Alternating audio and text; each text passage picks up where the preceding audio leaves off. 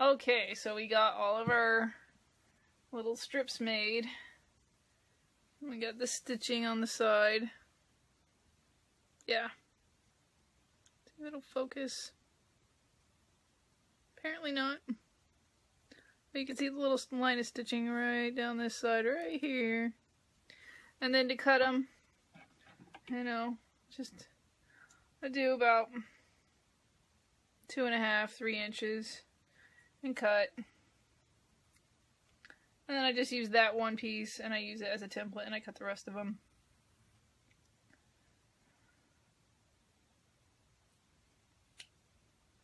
And for our first hammock, we're going to do one of the triangle hammocks. So we only need three right now.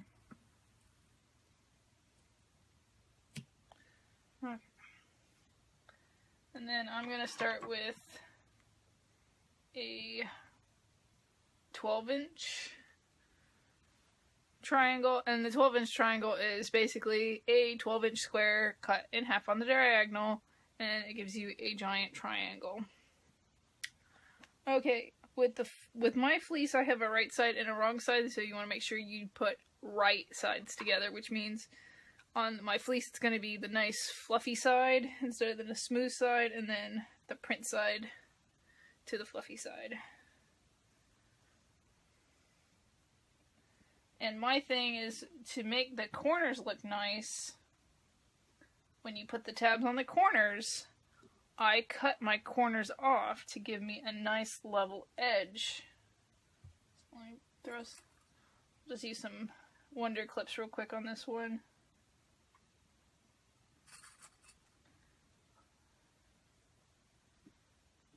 Just um, doing two, two on each side to make everything hold still so I can clip all my corners. So when you're done, this really isn't technically a triangle anymore. It's going to be a hexagon, meaning it has six sides. And it's the same with the triangle hammocks. Instead of a square, when you're done, after clipping all the corners, you're technically going to have an octagon. And when you're doing your tiered hammock, I suggest to clip the corners on those as well, just to make sure you have enough space to sew the different layers together. So I've clipped, or I've used my Wonder Clips and I clipped this together. And what I'm going to do is I'm going to go in and about where there's an inch of space, that's where I'm going to cut. I'm going to use my scissors. And if you want to cut it at an angle, that's fine. Just try and make sure that they're even if you cut an angle on one side, make sure you cut an angle on the other.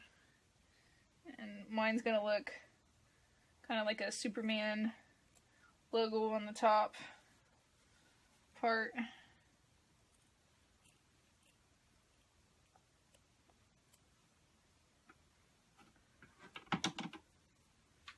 Put those in my trash bucket. So you see I have all my corners now clipped so when I go in and I put my little tabs in, they're going to have a nice little area to have enough space for them to sew over. Okay. And if you want, you can go ahead. I like the Wonder Clips because they're they can get all those really thick layers in together really easily and you don't have to struggle with pins trying to go through you know the six layers you know four layers for the tab the, and the two layers for the actual uh, hammock. So clipping those just like that with the little tab on the inside, not on the outside. There's the little tab right there. And then do the last one. And I don't worry about which side the uh, the seam on the tabs are just put them in. Okay. And then, lots of steps, I know. Um, and then you want to decide where you want your opening to turn the pouch right side out is. So I have six tabs, or six clips on each side, and then one for each tab. So I have a total of nine clips. So I like to do it on one of the short sides. So what I'm going to do is I'm just going to put an extra clip there so I know that's where I'm going to keep this pouch open, or this hammock open to, to flip it. Okay, and then another thing, sorry about the dogs barking. Um,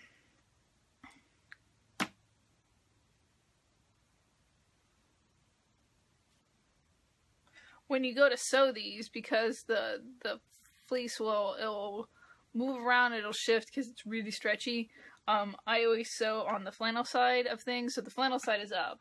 So if the fleece shifts on you, as long as it's lined up with the flannel, you sew on the flannel edge. If there's extra fleece hanging out on the edges, it doesn't matter. If you do it on the reverse side and the fleece creeps too far over, you may not end up catching the flannel side, and then you know, you'll have to resew the whole thing anyway. So if you just make sure that the flannel side is up when you start sewing, it'll go. It'll be a lot smoother when you um,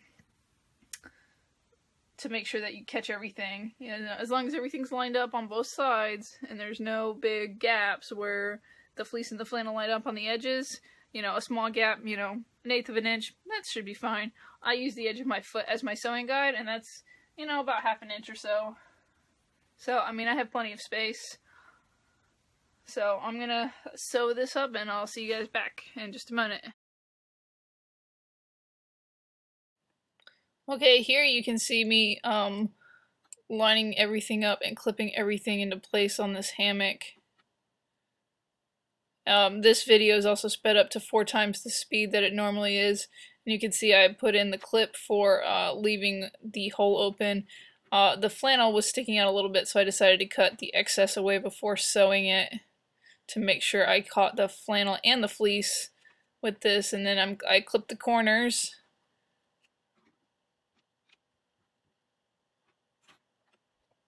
Here I'm getting my machine ready. Um, I have a little piece of jumping fabric. It helps to keep the threads from tangling when you um, when you start sewing. And I added my uh, tabs as I went. Uh, make sure you have your needle down whenever you pivot on a corner and then uh, just sew around the entire hammock. Sometimes when you go through uh, where the tabs are, you might need to give your machine a little extra push or a pull on the other end to make sure it goes through. It's a lot of layers to, for most machines to handle. And then as I get to uh, this last edge, you'll notice that I'll go ahead without uh, breaking any thread. I'll just uh, switch my machine to zigzag um, move my hammock slightly over to the edge and go ahead and zigzag around the entire hammock.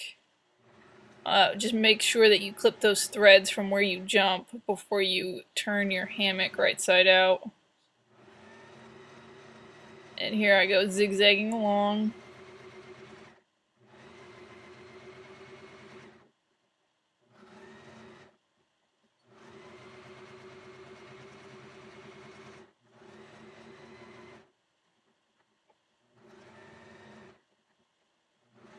And as you notice, I will I took off my my center clip for um, my opening, and I actually went past where my uh, my clip is. I picked up my stitch ripper and I had to rip out some stitches, so I had a hole big enough to to actually flip my hammock.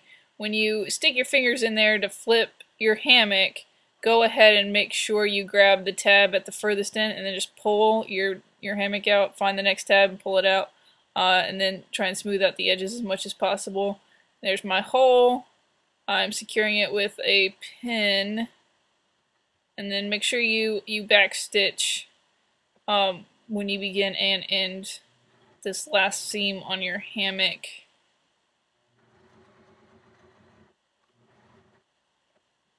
And looks like we have our corner hammock is finished. I'm just smoothing everything out. Ta-da! And as you can see, mine did creep quite a bit on this one edge, so I'm going to trim this up and then flip.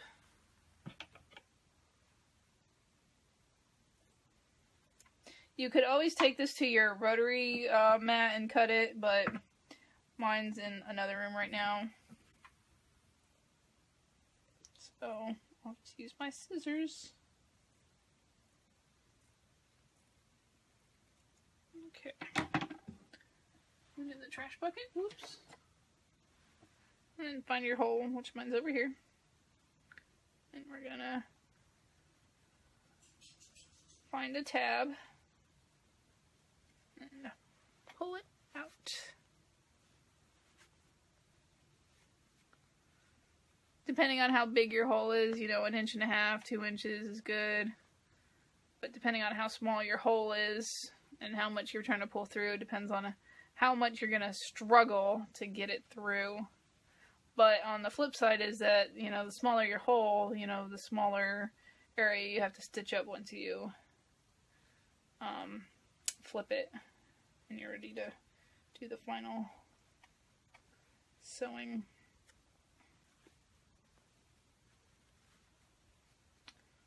Find another little tabby in here.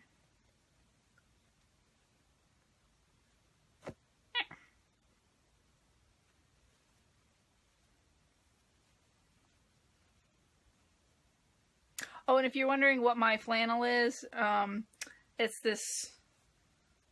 Oh, let me find one. It's an elephant print. There we go. And it's got elephants on it. It's orange with flowers and giant purple elephants. Um, all my other cage sets are blue and purple, so I thought orange and green was um, different than what I had, and it will be nice and bright and fun for the sugar gliders. Not that they care. I mean, cage sets are mostly for the owners. Um, the uh, they don't care about the colors if it's all black and white. They could care less. Um, so you know, the fabric you choose is whatever you want. Um, and then you can you use a couple um, wonder clips or a pin to hold the final hole in place, and then um, carefully, very, very carefully, you want to stitch where this hole is along the edge, making sure you catch both of the layers. It can be tricky. It took me a while to get it down, so it, mine looked pretty good. So don't don't be discouraged if yours don't look great at the beginning. Mine didn't either. It's one of those things. It just takes practice. Um, and then actually, I think my tabs are a little bit long. They're big. So I might put shorter ones on my ones next time.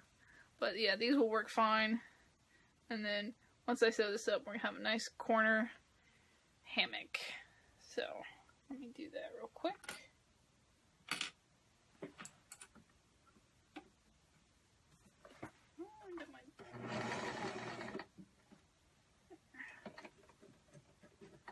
Um, one thing I also recommend is using a jump fabric it helps a lot to make sure that your fabric doesn't get tangled when you first start sewing. And then you want to start a little bit before the hole and end a little after the hole.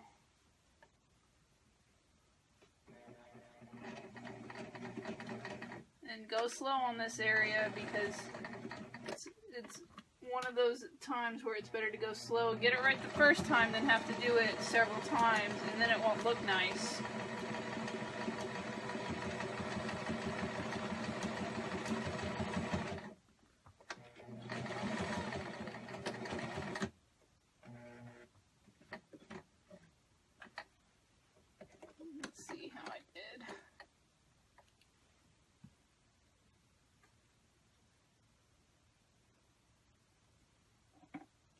Looks pretty good. See, it's, well, my fleece didn't catch all the way. You can see my fleece barely caught on that edge.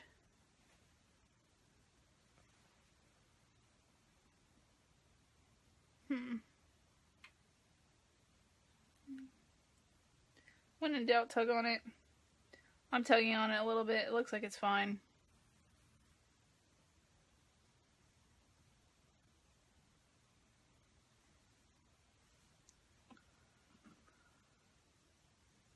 If you can't if you can't pull it apart right away, then it'll take your gliders a while too. Just make sure you check everything when you clean it.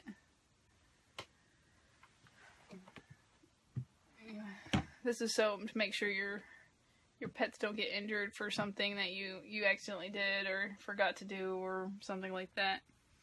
Um, so there's that's how you do the corner, and then um, because you cut a 12 inch square, you get two triangles. So there's two triangles, and then the 10 inch squares are slightly smaller. Um, I did a 9 inch square, and the, the hammocks were probably best for a travel cage. They were really really tiny, so I don't even bother putting them in my big cage anymore. But go ahead and do that to the um, the other three triangles that you have um, or however many you made. You can make, you're not limited to two, you can make 16 if you want.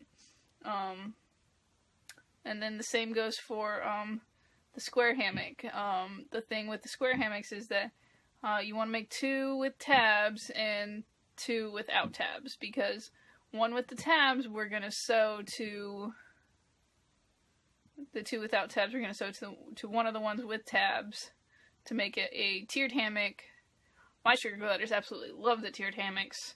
I see them hiding in there. Sometimes, you know, if I wake them up in the afternoon, they'll go hide in their tiered hammock because it's still pretty dark and it's they're comfortable there. So.